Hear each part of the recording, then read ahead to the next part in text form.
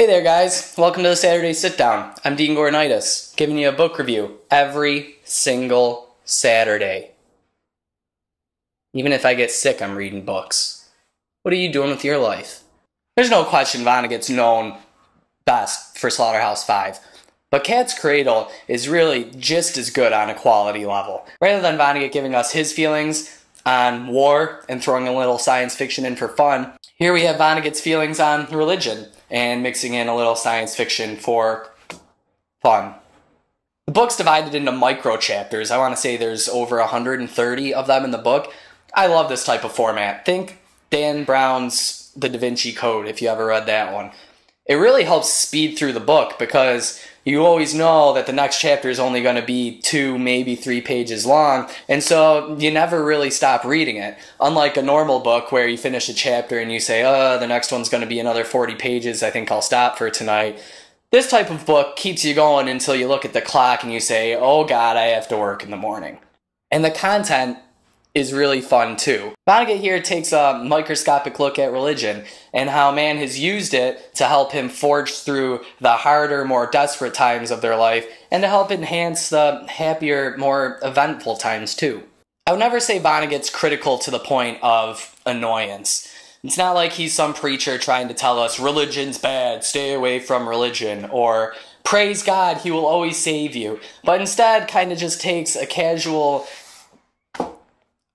observant stance, sort of like an old man sitting on his chair on the front porch with his leg crossed over his lap, watching the neighborhood walk by. Indifferent, maybe? And the way Vonnegut does this is through the creation of his own religion, which here he titles Bokononism. A religion so detailed, in fact, I had to remind myself a few times that this wasn't, in fact, a real religion, but just something Vonnegut made up for the use in his fiction. What that says about religion in general, I don't know, but it was really funny. When isn't Vonnegut funny?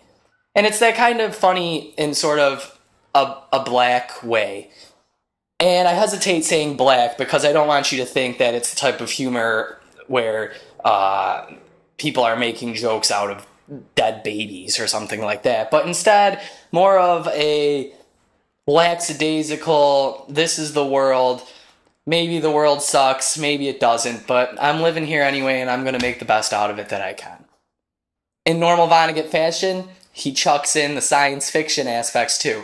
Never enough that it becomes, say, a cliche science fiction novel with lasers blasting and alien ships landing. But here he uses science fiction as sort of an accessory to make the story just a little bit crazier. The locations in the book are crazy and energetic. The characters in the book are wild and just borderline unbelievable, which makes them a blast to read. Overall, the book is a solid must have, must read novel.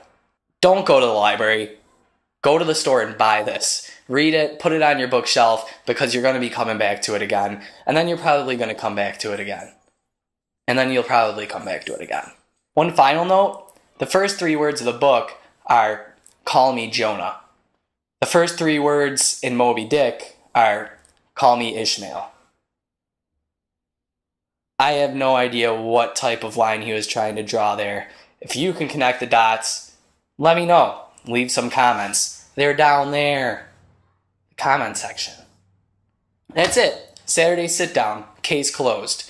Dean Gornitis, reading Kurt Vonnegut, Cat's Cradle, loved it. My green screen, love it.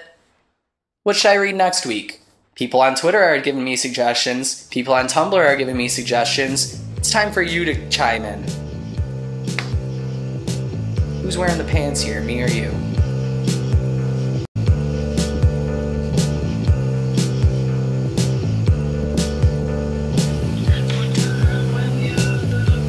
What slaughterhouse? What bop bop bop did up Always messing up my words.